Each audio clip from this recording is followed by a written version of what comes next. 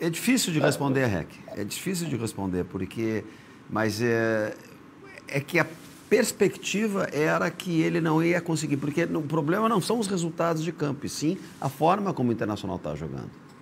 O Internacional eh, eh, vem jogando e vem sofrido eh, contra-ataques e ataques de times de todos os níveis. O jogo, por exemplo, um jogo que eu gosto de lembrar sempre foi aquele 4 a 1 no Juventude no Beira-Rio, que foi quando o Internacional passou para, a final do, do Gauchão.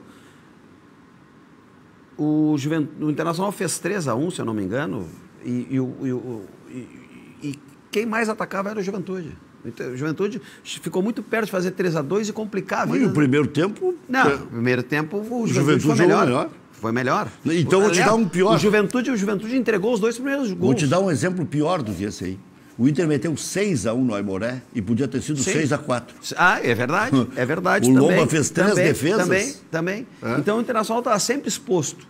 Defensivamente sempre exposto. Então a saída do, do, do Ramires, ela ia se dar ali, entendeu? Então ele ter perdido a classificação, ter tomado cinco, ele já era cair para. Tomou cinco do Fortaleza, ele tem que pegar a malinha dele e ir embora. Entendeu? Ele está treinando o Internacional. Mas o Abelão tomou cinco da Chapecoense. É, mas o Abelão tem uma história. É.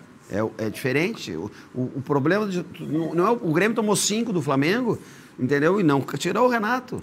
O, porque, o, Abelão tomou nove, tomou quatro do Grêmio depois. É, é, o desempenho, o desempenho do time é que vai dizer onde é que, até onde o treinador vai. E o Ramires, infelizmente, desde que chegou, não conseguiu demonstrar absolutamente nada. Internacional não joga.